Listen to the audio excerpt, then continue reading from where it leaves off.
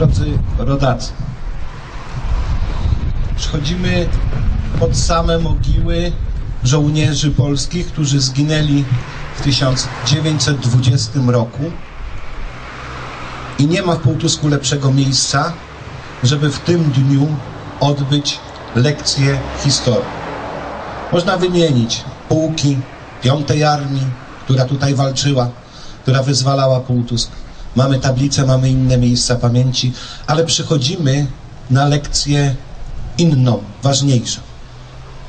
Przychodzimy, stoimy tuż obok mogił, by zadać sobie pytanie, o co ci ludzie walczyli. Za co oddali życie? Wiemy, że za ojczyznę.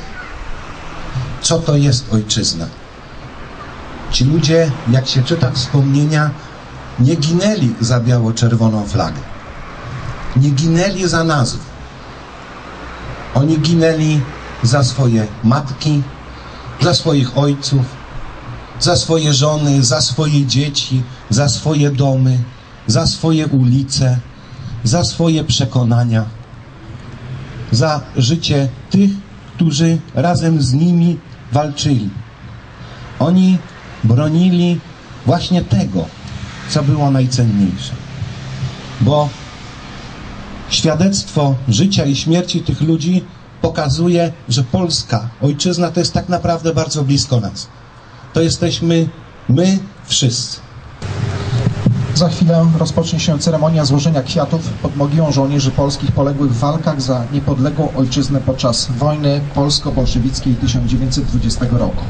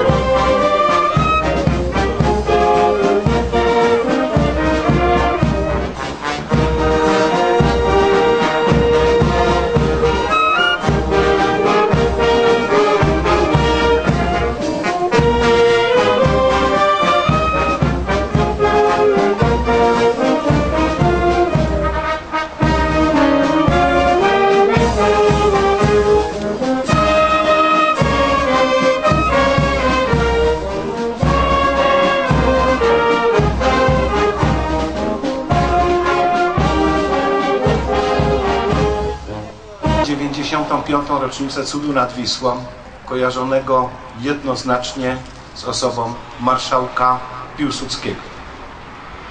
Ale tak naprawdę już 15 sierpnia 1920 roku część polityków, część historyków, część publicystów zaczęła kwestionować udział i rolę marszałka Piłsudskiego w zwycięstwie.